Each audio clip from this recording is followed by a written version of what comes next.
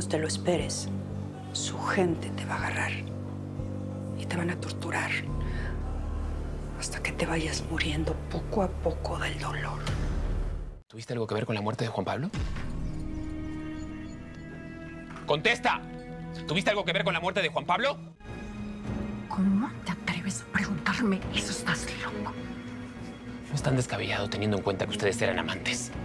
Que yo haya reconocido que Juan Pablo y yo tuvimos algo no te da el derecho de pensar que yo soy una asesina. Ya me imagino quién te metió esa idea en la cabeza. Lorena Martínez, ¿quién más?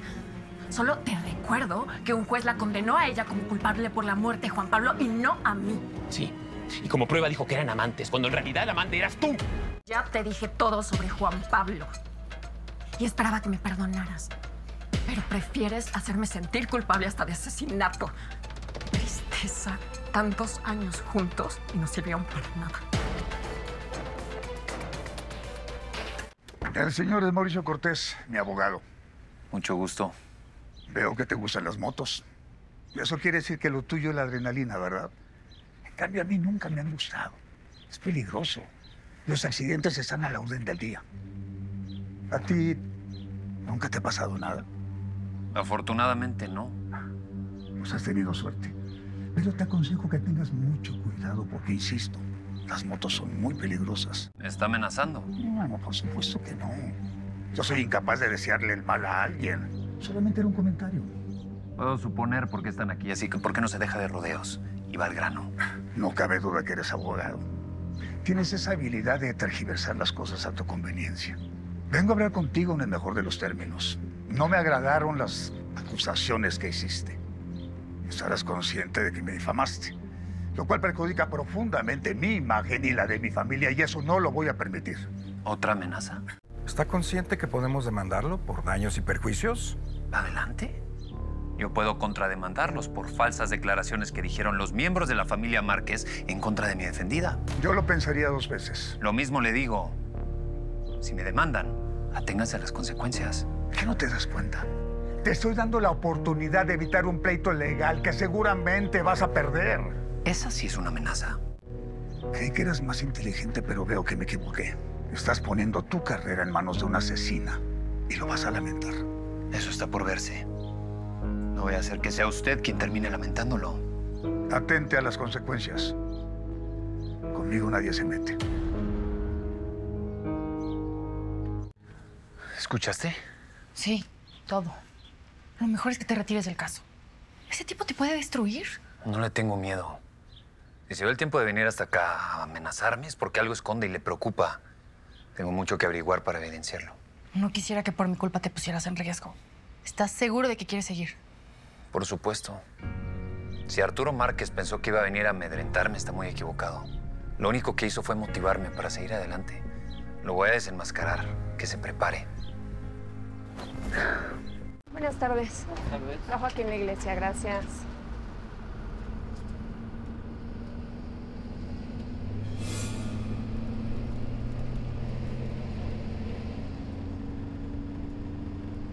Prófugas del penal de Santiago.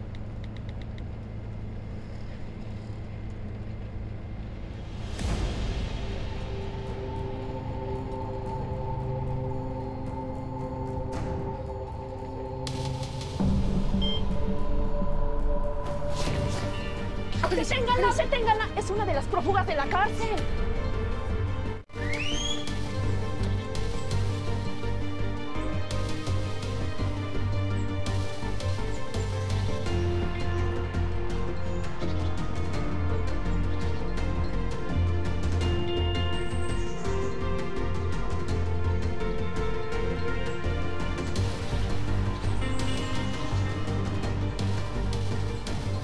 Cuando vine de regreso en el camión, una mujer me reconoció. No, Lore, justo lo que me temía. Sí, gracias a Dios me di cuenta, me pude bajar de volada y me eché a correr. Pero dos pasajeros me empezaron a perseguir gritando quién era yo y que me detuviera. Fue horrible. Y bueno, ya no me vieron. Pero el corazón se me salía por la boca. Tuve mucho miedo. ¿Y cómo no? Lore, escúchame, por favor. ¿Ya te diste cuenta que estás en boca de todos? Por favor, no vuelvas a salir a ningún lado. Te lo ruego. ¿Cómo estás? Bien, bien, aquí vigilando que la gente se porte a la altura. Es que desde que estás aquí me siento mucho más tranquila. Es bueno saberlo. ¿Sabes? Toda la noche estuve pensando en lo que pasó ayer y yo la verdad... No, no, ¿para, para, para qué hablamos de eso? Yo ya te dije que no te preocupes, que yo no vi nada. Bueno, de todos modos quiero que las cosas queden claras. El tipo con el que me viste me acorraló. Ya, ya, no, justo ya no cuando- muevas, de verdad. Ya, lo pasado, pasado, como la canción.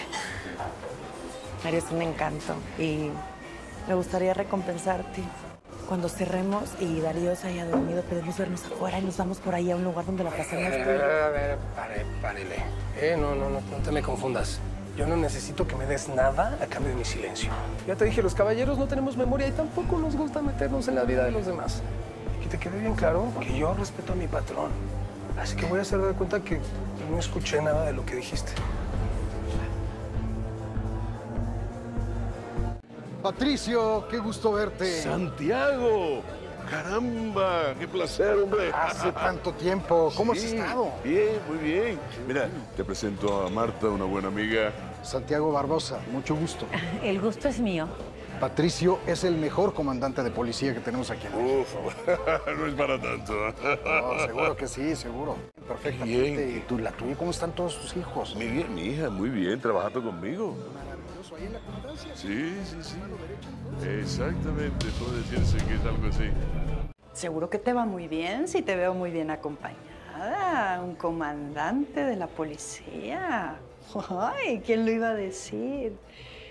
Mm, ya entendí. Desde que saliste de la cárcel te aliaste con la policía. Así es que tú eres la soplona que les dijo dónde encontrar a Estefanía. Así es que será interesante saber qué piensa Estefanía cuando conozca lo que acabo de descubrir.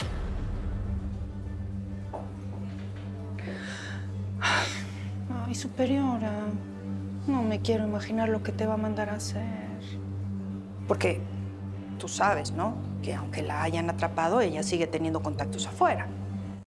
Necesitaría una ayudadita de tu parte. Podrían ser mm, 10 mil pesos. Ay, por favor. Yo no tengo esa cantidad de dinero. No, pero, pero no trabajas en una pastelería. Puedes pagar el lugar donde vives. Con lo que gano en la pastelería apenas me alcanza para vivir. Y aunque tuviera esa cantidad de dinero, no te lo daría. Así que deja de amenazarme, porque le puedo decir al comandante que una de las prófugas está aquí. Ah, sí, muy buena idea. Mira, ve, rápidamente, yo aquí te espero. Pero eso no va a evitar que Estefanía sepa que tú eres la soplona. Cuando menos te lo esperes, su gente te va a agarrar y te van a torturar hasta que te vayas muriendo poco a poco del dolor. Mira, yo ya venía preparada. Aquí está el número de mi teléfono. Porque como tú no quieres que yo abra la boca, pues tienes hasta mañana para darme esos 10 mil pesos. ¿Va? Me siento muy sola y lo único que quisiera es poder abrazar a mi hermana. ¿Quieres que te lleve con ella? ¿Puedes hacer eso? ¿Te fijaste que nadie te siguiera? Sí, sí, sí, puedes estar tranquila. Alejandro me armó una ruta tomando primero un taxi y después otro para despistar. No sabes cuánto te extrañas. Yo también.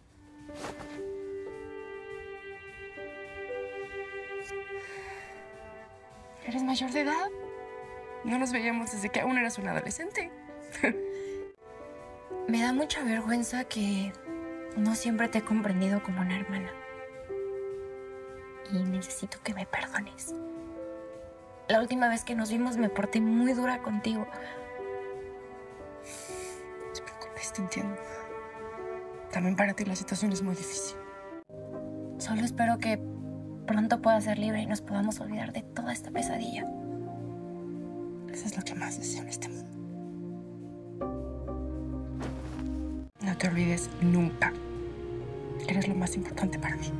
Y tú para mí.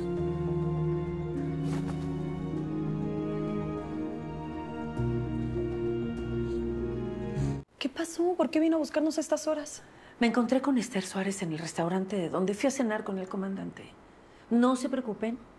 Ella no sabe que ustedes están aquí, me lo hubiera dicho. A mí es a la que tiene vigilada. Sabe dónde vivo, que trabajo en una pastelería.